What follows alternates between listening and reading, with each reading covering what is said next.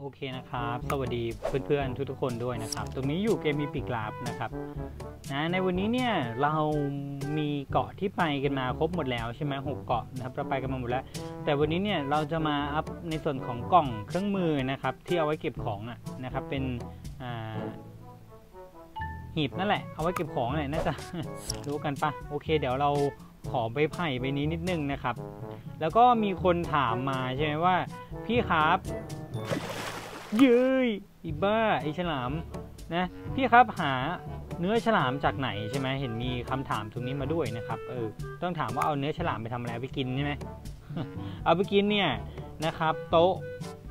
โต๊ะที่ผลิตอาหารนะมันจะต้องเลเวล3นะครับคือต้องอัปเกรดเป็นเลเวล3เนาะ มันถึงจะเอาไปย่างหรือเอาไปผลิตได้นะครับไอ้เนี่ยกระทะเนี่ยเนี่ยเนี่ยเนี่ยนะครับมันจะต้องอัปเกรดก่อน ซึ่งการอัปเกรดเนี่ยใช้ของที่ค่อนข้างมีราคานะครับ ราคาแพงมากเลยทีเดียวนะกว่าจะได้มานะครับโอเคนะเนื้อฉลามนะครับกว่าจะได้มาเนี่ยจะต้องอัปเกรดก่อนนะไม่งั้นมันกินไม่ได้นะครับ แล้วก็วิธีได้เนื้อฉลามก็คือลงไปซัดกับปลาฉลามนะครับนี่ รงนี้เนี่ยหนังฉลามที่ได้มาแล้วนะครับ จะเอาหนังฉลามมาอัปเกรดกล่องพอดีนะครับ พอดีกล่องมันเริ่มน้อยเนาะเดี๋ยวเราอัปเกรดกันนะครับนี่ในการอัปเกรดนะครับใช้ยางนะครับ4นะครับใช้หนังฉลาม 3 แล้วก็ใช้ตะปู6นะครับใช้ไม้แปรรูปเนี่ย7โอเคอัพกล่องเป็นเลเวล2จัดไปเสร็จสิ้นนะครับกล่องก็จะเป็นนะครับ16 20 ช่องนะเออทำให้เราเก็บของได้มากขึ้นนะครับนี่ยาก อย่างอื่นนะไม่ค่อยยากหรอกนะที่จะยากก็ยากแค่ไอเนี่ยหนังฉลามนะเพราะว่ามันต้องลงไปตีกับฉลาม ซึ่งการลงไปซัดกับปลาฉลามตรงๆ เนี่ยมันไม่สามารถใช้อาวุธได้นะ มันไม่เหมือนแบบเราไปตีกับซอมบี้นะที่สามารถใช้อาวุธได้ อันนี้ก็เหมือนกัน มันใช้ไม่ได้เลย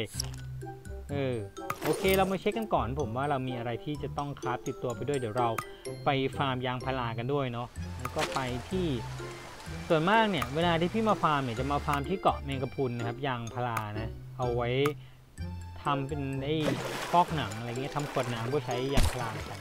เวนแล้วครับ ไม่ได้กินน้ำมา พี่ไม่แน่ใจว่าไอ้ฉลามตามฉากพวกนี้เนี่ยมันมันได้หรือเปล่าแต่คิดว่าได้นะในส่วนของหนังฉลามนะครับ นี่ต้นยางพารานะ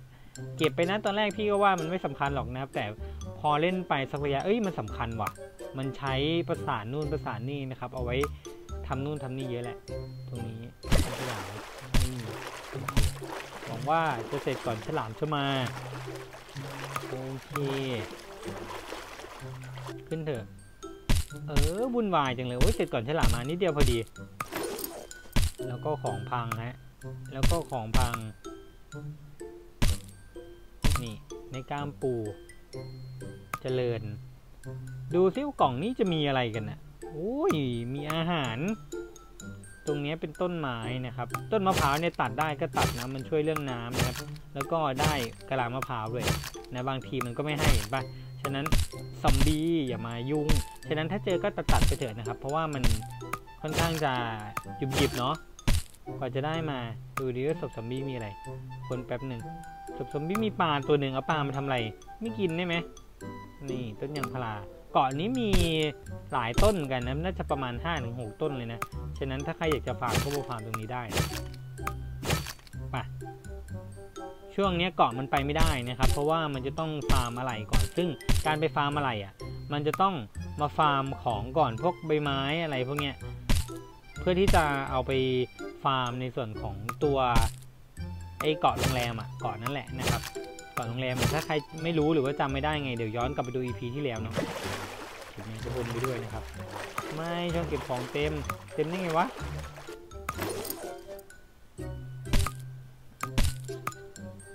กินไปกระป๋องเนี่ย บางทีก็เก็บบางทีพี่ก็ไม่เก็บนะแมงกะพรุนนี้ก็เอาไปทำเป็นผ้านะครับ ผ้าเนี่ยไปทำเป็นรองเท้านะรองเท้าบูทที่เอาไว้กันสารเคมีนะอันนั้นแหละนะครับ โอเค เก็บยางกันก่อน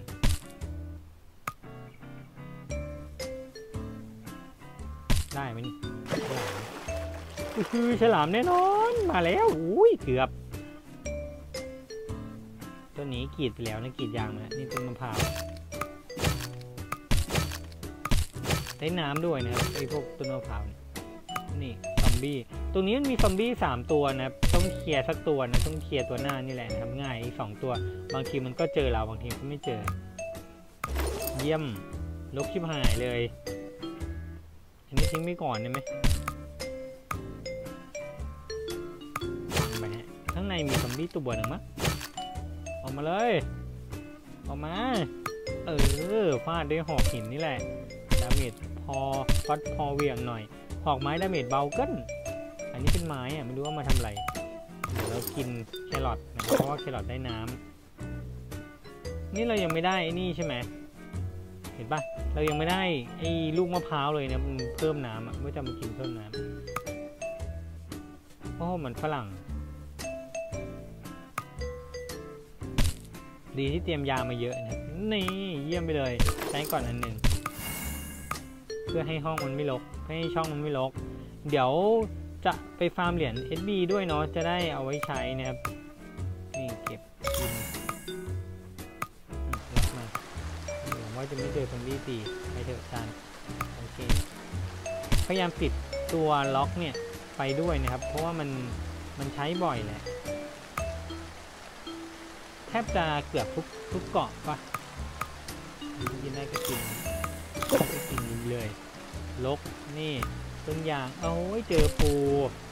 เนี่ยติดคูดาวไหนบอกแก้แล้วไงมันยังไม่แก้เสร็จเลยเนี่ย หลบนิดนึงนะครับซอมบี้เยอะซอมบี้ทั้งปูเลย การตู้อะได้เลเวลนะครับเออมีคนถามว่าพี่ครับ level เอาไปทำอะไรใช่ไหมเดี๋ยวบอกเลยแล้วกันนะครับเลเวลเนี่ยเอาไว้คือในช่วง beta test นะมันจะเอาไว้ปลดของนะครับแบบว่า ของชิ้นนี้ต้องเลเวลนี้นะอะไรเงี้ยถึงจะสามารถปลดได้นะครับ ซึ่ง ตอนนี้ไม่รู้ว่าใช้ทำอะไรกันเดี๋ยวกลับไปดูในโต๊ะ craft ให้นะครับ ว่ามันยังใช้เปิดของเก็บของอะไรอย่างนี้หรือเปล่าอืมโอเคได้ใบไม้ก็มาดีครับ ก็มาดีครับ คือตอนนี้มันจะอิงกับแปนใช่ไหมแปนเขียวนะครับพิมพ์เขียวเครื่องวิจัยอะไรพวกนี้เนี่ยมันใช้กับพวกนั้นเยอะนะครับ แต่ก่อนพอเลเวลถึงแล้วมันก็ปลดให้อะไรเงี้ย ไม่อยากจะสู้กับมันนะพี่เนี่ย มันไม่ได้อะไรเลยก็ไม่อยากสู้เราแค่ต้องการของนะครับ โอเคค้น แล้วก็เกมนี้มันอินกับ Energy ด้วยนะ มันทำให้แบบเราเล่นได้ไม่ต่อเนื่องทั้งวันเนาะ ถ้าไม่เติมซื้อเหรียญ มาดิครับปู ก็มาดิครับปู ก็มาดิครับปู โอเค ก่อนเนี้ยมันไม่ค่อยบักนะ เวลาที่เราแบบ กลับออกไปแล้วกลับมาเนี่ยมันก็ก็แบบรีสปอนให้แล้วนะครับ อันนี้ต้องเอาปลาสามตัวนะต้องใช้เบ็ดนะครับ แล้วก็มีแมงกะพรุนตรงนี้ไม่รู้มีฉลามหรือเปล่า โอ้โห ไม่มีเลยฉลามนะ่ะ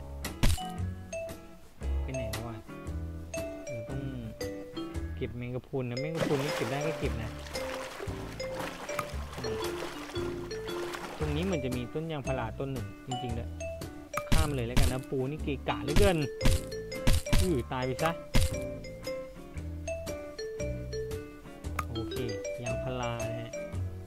จำเป็นนะพยายามมาเก็บด้วยนะครับใครแบบมีเวลาเยอะๆอะไรเงี้ยมาเก็บด้วยนะ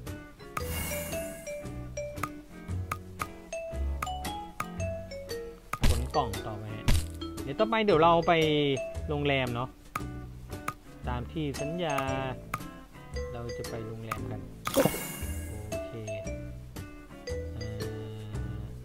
ประมาณนี้แล้วก็นี่เลยต้นปาล์มตัดต้นปาล์มนิดนึงได้ไม้กับใบไม้เนี่ยอยากได้ไอ้เนี่ยแมงกะพุนอะในกล่องไม่ได้ไม่เท่าไหร่หรอกมีเนี่ย เออฉลามมาเอ้ยโอ้โหนั่นไงน่าเกลียดนะครับน่าเกลียดจริงๆฉลามกัดแล้วเลือดไหลด้วยนะตอนเนี้ยกลับบ้านดีกว่า สถานะเลือดไหลเนี่ยใช้ผ้าพันแผลที่ทำจากใบไผ่เนี่ยสองอันนะครับถึงจะหายนะ